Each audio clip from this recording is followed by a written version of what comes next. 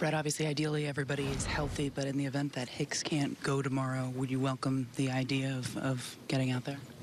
Well, uh, of course. I mean, uh, anytime you're anytime you're not playing, you want to be out there and help the team, but you don't want to see, um, you know, you don't want to see anybody, um, you know, come up with an injury or get hurt, especially this time of year. So, you know, we um, we've got a lot of depth, whether it be in the outfield or the infield or wherever we may get tested at. So, um, you know, just like every day, show up, show up, uh, show up ready to play and uh, prepare like we're going to play. And um, you know, even today, kind of, um, you know, kind of. Uh, probably was a, a moment to kind of catch guys off guard. But even today, I was upstairs in the weight room moving around. I was already ready. So um, you just never know this time of year. So just stay ready.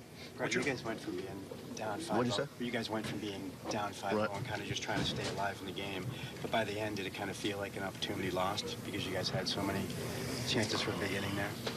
Well, I mean, um, you know, we put a lot of pressure on them. Obviously, um, we didn't go down. Um, you know, we didn't do, go down quietly. I mean, I feel like, um, you know, there were some opportunities there where we could have maybe capital done a little better job of capitalizing and scoring a few more runs. But, you know, they got off to that early lead. Obviously, JD with the big three-run homer in the first, and uh, you know, ultimately that was the difference in the game.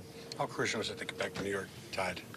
Yeah, very important. I mean, uh, you know, you obviously want to win every game. Um, you know, coming on the road, playing the first two at their place, um, you know, it's a tough task. But, um, you know, first game obviously didn't go our way, but um, we can even up the series tomorrow and feel good about our chances going home. And, you know, as we saw last year against the Indians in the LDS, you just never know what's going to happen. So, um, you know, we put in the work and we're prepared and um, be ready for the game tomorrow. Marty, what about Tanaka game two here? What are your thoughts on your and your confidence level?